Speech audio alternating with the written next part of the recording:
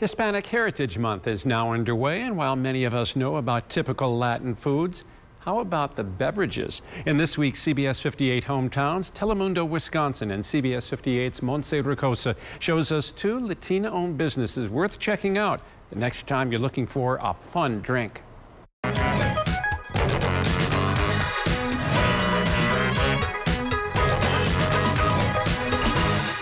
One thing to know about me is that I love a good cup of coffee, so let's see how they make it the Puerto Rican way at Aroma Cafe.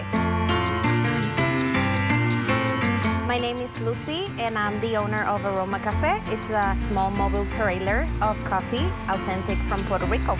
Aroma Cafe started uh, two years ago. Um, we moved to Wisconsin in 2017. We get our coffee from La Finca La Torre, it's located in Bar Barranquitas. It's a small town in Puerto Rico, right in the center of the island. It's all done by hand, firewood, no gas, nothing electric. So basically, it's like an old-fashioned um, type of roasting coffee. Puerto Rican coffee is smooth.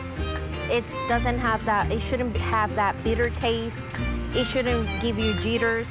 I think it's more something like a cultural thing in every home that you get so used to it. And also, we work so hard that we need something like a fuel to get us going. It's very exciting to see their reaction. It's like you see in their minds that they're having a whole black flash of times and visiting when they went and they got that coffee back there and they can taste the same here in their home.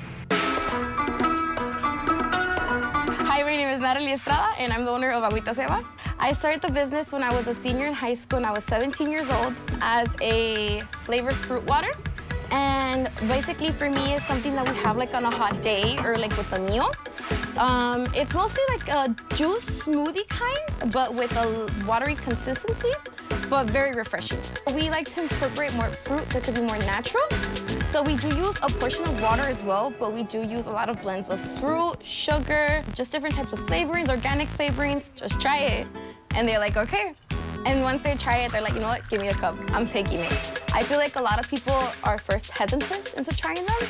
And then once they try them, I feel like they're hooked. I really love when people show their support because for me, it's like, we actually made it. Like, we actually made it and we, we grew. We grew together as a business. Aguas Frescas have stood the test of time, being enjoyed for centuries, and they'll have a lot longer, too. This one, though, has only got a few more minutes left. For CBS 58 Hometowns, I'm Montse Ricossa.